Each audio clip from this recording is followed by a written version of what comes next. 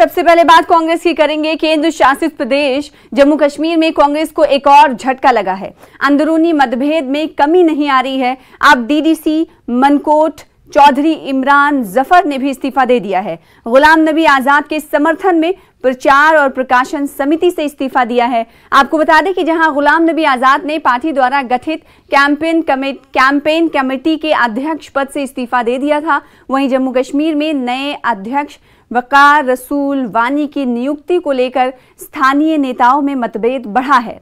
यही वजह थी कि इससे पहले कांग्रेस के पूर्व विधायक गुलजार वानी ने भी राज्य चुनाव समिति से त्याग पत्र दे दिया था, जबकि मोहम्मद अमीन भट्ट, चौधरी अकरम ने भी समितियों से इस्तीफा दे दिया। हाजी अब्दुल रशीद डार ने कांग्रेस की मूल सदस्यता से इस्तीफा दे दिया है और कांग्रेस के साथ अपना लंबा संबंध तोड़ दिया है। तो इस तरह से ये देखा जाए कि कांग्रेस की अंदरूनी कलह लगातार बढ़ती हुई दिखाई दे रही है यानी रस्साकशी जो है वो जारी है। इस बीच पार्टी लीडरशिप की तरफ़ से कोई बड़ा फैसला सामने आने आ, की उम्मीद भी ज़ाहिर की जा रही है। देखना ये होगा कि इन्हें किस तरह से बचाया जा सकता है और कैसे पार्टी को एकजुट किया जा सकता है। लेकिन फ़िलहाल अहम खबर यह है कि इस्तीफों का सिलसिला लगातार जारी है। हमारे साथ हमारे संवाददाता जम्मू से जुड़ रहे हैं समीर भट्ट। समीर भट्ट ये इस्तीफों का सिलसिला कहाँ आकर रुकेगा? अब तो सवाल ये उठने लगे देखिए बिल्कुल सना आपने सही कहा और ये एक दर्शाता है और दिखाता है कि कांग्रेस में कितनी ज़बरदस्त लड़ाई चल रही है। जब से देखिए कई महीनों से मशक्कत की जो कांग्रेस हाईकमान ने, उन्होंने अलग अलग मीटिंगें की आज़ाद ग्रुप के लोगों से अलग बात हुई मीर ग्रुप के लोगों से अलग बात हुई इवन के तीसरा दडा भी है सैफुद्दीन सोज का जिसके भी कुछ खामी है उनसे अलग से बात हुई। फिर इन सभी को इकट्ठे बुला के उनके साथ ज्वाइंटली बात हुई। मीटिंगों का दौर चलता रहा दिल्ली में कई कई महीने लग गए। उसके बाद ये फैसला हुआ कि मीर जो जीए मीर जिन्होंने तकरीबन आठ साल से ज़्यादा किया था अध्यक्ष रहे थे तो उनको हटाया जाएगा। लेकिन किसको उनके बदले लाया जाएगा उस पर बात नहीं बन पाई। तो उसके बाद फाइनली जब वकार रसूल को किया तो उसके बाद आपने देखा किस तरह से इस्तीफों का दौर जो है रिजर्वेशन का दौर चलता रहा। लेकिन कितनी बड़ी जब से कमिटीज बनी जब से नए प्रेसिडेंट का इलेक्शन हुआ और कई कमेटी है जिसमें डिस्प्लिनरी कमेटी है कोऑर्डिनेशन कमेटी है कैंपेनिंग कमेटी है इलेक्शन मैनिफेस्टो कमेटी है बहुत सारी कमेटीज का गठन किया गया और कोशिश की गई कि आज़ाद ग्रुप के और मीर ग्रुप के दोनों ग्रुप्स के लोगों को उनमें पद दिया जाए। उनके जो सैफुद्दीन सोज है हालाँकि वो बहुत उम्र रसीदा है बहुत उनकी एज भी उनकी आयु बहुत ज़्यादा है लेकिन उनको भी दायित्व दिया गया कमेटी का उनको भी अध्यक्ष बनाया गया। तो कोशिश की गई हाईकमान की तरफ़ से कि सभी को खुश किया जाए लेकिन बात नहीं बन पाई है। और जिस तरह से रिजिग्नेशन का दौर चल रहा है जब से ये नए अध्यक्ष बने हैं वकार रसूल उसके बाद जो कमिटीज बने हैं और उस कमिटीज में दोनों तरफ़ से जब गुलाम नबी आज़ाद ने इस्तीफा दिया उन्होंने माना नहीं इलेक्शन कैंपेन कमेटी का अध्यक्ष रहना तो उसके बाद उनके हामी जो है ज़्यादातर वो हट गए उन्होंने बहुत सारे रिजर्वेशन और जो फ्रेश रिजर्वेशन डीडीसी मनकोट जो है उन्होंने दिया है चौधरी इमरान ने।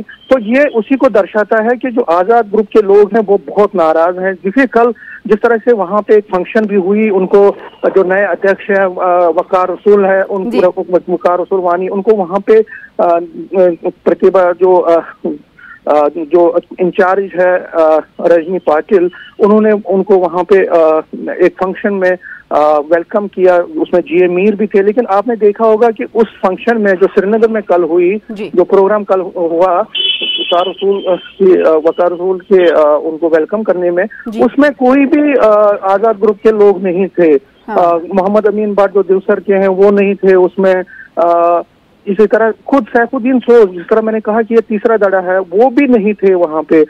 कदावर नेता जो अभी रेजिग्नेशन जिन्होंने किया है चौधरी अब्दुल रशीद डार जिन्होंने पूरे मूल कांग्रेस से ही इस्तीफा दिया है वो भी नहीं थे। हम्म। तो कांग्रेस में बहुत ज़्यादा गड़बड़ चल रही है। इवन की मैं आपको बताऊँ जो जीए मीर ग्रुप है हालाँकि वो अब हाईकमांड के कहने पे वो कर रही है वकार रसूल को थोड़ा समर्थन दे रहे हैं लेकिन हम्म। उनके भी लोग बहुत ज़्यादा नाराज़ हैं।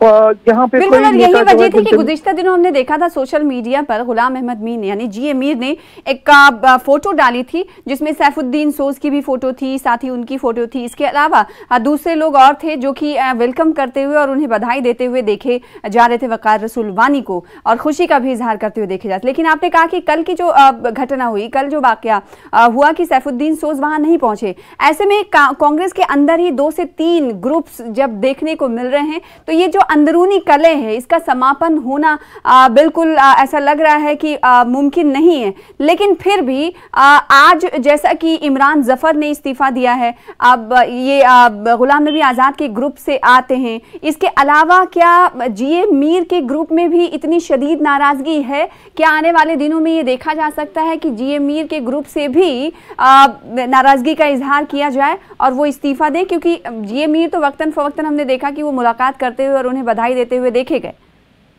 देखिए बिल्कुल अलामती जो है जो है दिखाने का एक है और अंदर से कुछ और चल रहा है। जी मीर ग्रुप के भी कुछ लोग हैं जिनको लग रहा था कि उनको एक अच्छी प्रोमिनेंस दी जाएगी उनको किसी कमेटी का अध्यक्ष या मेंबर बनाया जाएगा लेकिन उनको नहीं मिला। और वो बहुत खास लोग थे हम्म। आ, उन वो उनके साथ चलते थे। मैं आपको एक एग्जांपल देता उदाहरण देता हूँ रविंदर शर्मा जो कि spokesperson chief spokesperson थे जे के प्रदेश कांग्रेस कमेटी के और बहुत क्लोज माने जाते हैं जीएम मीर के। लेकिन जब से ये नया पुनर्गठन हुआ है नई नए अध्यक्ष का चयन हुआ है तो तब से वो नाराज़ बैठे हैं और कोई भी मीडिया के सामने बात नहीं कर रहे और ये कह रहे हैं कि उनको जो है नजरअंदाज किया गया उनको उनकी उनको किसी चीज़ में शामिल नहीं किया गया। तो ज़ाहिर जो ओवरऑल सिनेरियो बन रहा है कांग्रेस में ज़्यादा गम ही है खुशी कम है हम्म। और तो क्या ये माना जाए गम गम के साथ खुशी लौटेगी या फिर ये गम मजीद बढ़ेगा आने वाले दिनों में कई और इस्तीफों की झड़ी लग सकती है क्या समीर सना सना जो जिस तरह से हालात बने हैं उसके हिसाब से लग रहा है कि जो ये रेजिग्नेशन का एक ट्रेंड चला है कांग्रेस में वो और बढ़ सकता है अगर हम्म। हाईकमान को कुछ और फैसले और करना पड़ेगा हालाँकि जो अध्यक्ष बनाए गए हैं विकार रसूल उनका हटाना तो मुमकिन नहीं लग रहा है फौरी तौर पे लेकिन हम्म।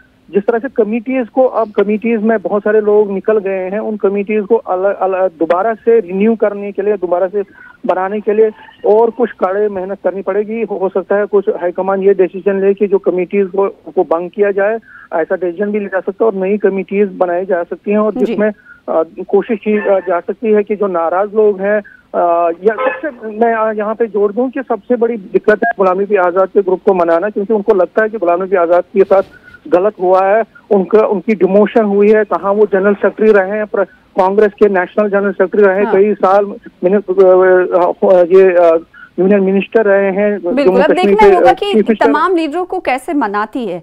ना सिर्फ़ लीडरों की बल्कि उनके कार, कार जो लीडर होते हैं उनके समर्थक होते हैं कार्यकर्ता होते हैं उनमें भी नाराज़गी देखी जा रही है। इसीलिए समीर के ज़रिए भी ये कहा गया कि गुलाम नबी आज़ाद के ग्रुप में भारी नाराज़गी देखी जा रही है गम भी देखा जा रहा है लीडर्स के अंदर। अब देखना ही होगा कि लीडरशिप की तरफ़ से क्या कोई फैसला लिया जाता जैसे कि कहा कि अब हमारे संवाददाता समीर भट्ट ने कि हो सकता है कि समितियाँ समितियाँ कुछ और बनाई जाएँ जिसमें इन तमाम लोगों को जगह दी जाए। लेकिन फ़िलहाल खबर यह है कि लगातार कांग्रेस के अंदर अंदरूनी कलह बनी हुई है और लगातार इस्तीफों का सिलसिला जारी। बहुत शुक्रिया हमारे साथ जुड़ने के लिए समीर और इस को लेकर जानकारी देने के लिए। आगे बढ़ लेते हैं। अल्ताफ बुखारी ने गैर स्थानीय मतदाताओं के नाम शामिल करने के मुद्दे पर सरकार के स्पष्टीकरण का स्वागत किया है। बुखारी ने कहा कि जिस तरह से घाटी में कश्मीरी पंडितों की हत्या की जा रही है, मानवता की हत्या के बराबर है और अपराधियों को फांसी दी जानी चाहिए। बुखारी के मुताबिक, दिल्ली हमेशा से बंटवारे की राजनीति करती रही है, लेकिन अब ऐसा नहीं चलेगा।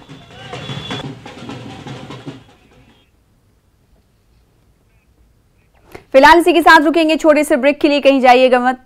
बने रहिए।